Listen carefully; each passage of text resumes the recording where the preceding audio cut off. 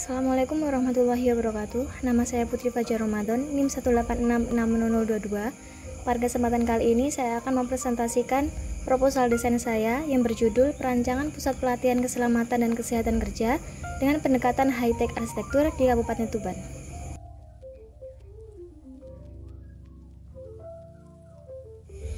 Diakses dari Febrianto Eko pada tahun 2019 mengenai rencana pembangunan mega proyek kilang minyak di Jenuh Tuban akan beroperasi pada tahun 2025. Dilansir dari Erni Suparni tahun 2019 mengenai meningkatnya jumlah kecelakaan kerja di Tuban yang dikarenakan oleh penurunan kualitas kesadaran pekerja terhadap tindakan tidak aman. Upaya yang dapat dilakukan untuk mencegah, mengurangi, bahkan meniadakan terjadinya kecelakaan yaitu dengan mengadakan pelatihan K3 tentang peralatan, kondisi, dan tindakan tidak aman terhadap pekerja. Berdasarkan narasumber Yuda Kumara, pada bulan Februari lalu, selaku anggota Pusat Pelatihan Indonesia menyatakan bahwa PPI sendiri memiliki rencana akan membangun safety media center di seluruh Indonesia, salah satunya di Tuban, karena prospek kerja yakni mega proyek 2025 mendatang.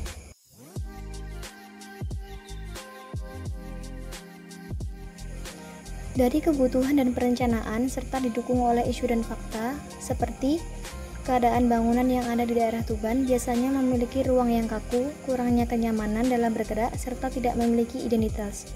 Pendekatan high-tech architecture dirasa tepat dalam memberikan solusi yang didasarkan oleh ayat Al-Quran.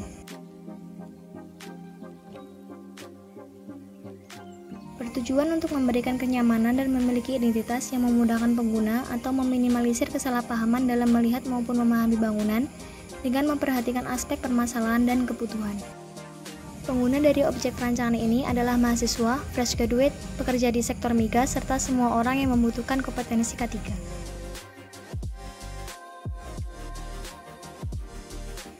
Langsung pada tapak, Lokasi tapak berada di Jalan Leda Sucipto Perbon, Kecamatan Tuban, Kabupaten Tuban, Jawa Timur, dengan total luas 3 hektar.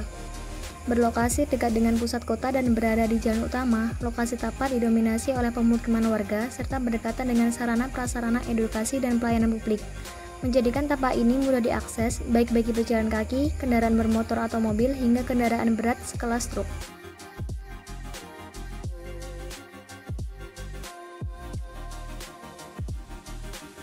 Berangkat dari fakta dan isu yang diangkat, pendekatan high-tech architecture dirasa mampu memberikan solusi dari permasalahan dengan penggunaan dan pemanfaatan teknologi dalam mendukung tujuan perancangan yang didasarkan dengan ayat Al-Quran, Quran Surat Al-Anbiya ayat 80-81 yang berisikan peringatan Allah mengenai pemanfaatan ilmu yang dapat terrealisasikan melalui penggunaan teknologi dalam perancangan.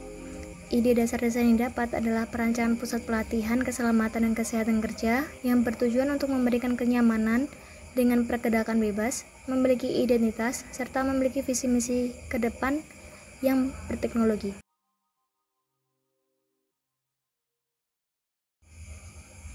Tagline dari objek perancangan ini adalah Technovation Building, yang terdiri dari dua kata, yakni high-tech dan innovation, yang berarti bangunan berteknologi tinggi dan berinovasi ke depan.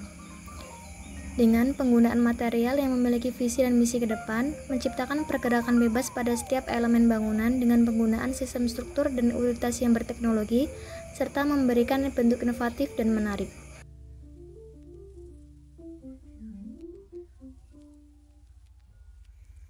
Skema proses desain, tindakan yang pertama adalah membaca informasi yang didapat dari berita online, bertemu dengan orang baru, serta berdiskusi mengenai rencana pembangunan ke depan. Output yang dihasilkan adalah fakta, isu, serta potensi desain.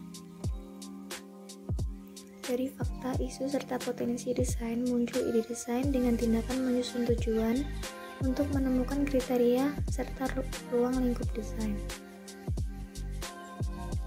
Untuk mencapai kriteria desain, penggunaan pendekatan dengan mengkaji sesuai dengan fakta dan isu, serta dikaitkan dengan referensi keislaman. Yang berikutnya adalah pengumpulan data melalui pustaka berupa referensi objek, data kawasan, data tapak, dan literatur.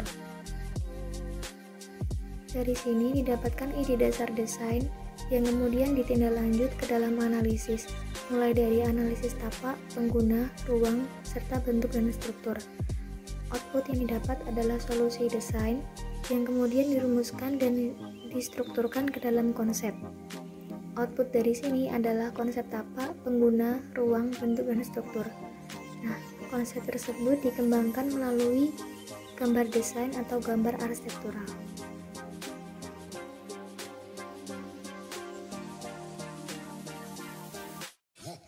Cukup sekian yang dapat saya sampaikan.